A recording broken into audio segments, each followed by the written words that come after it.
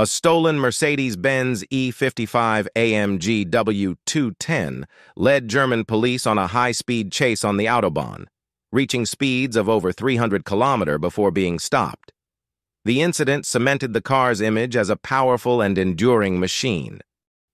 Did you know you can add Bluetooth music streaming to your classic Mercedes-Benz E-Class factory radio by Gizmo Guy Gadget?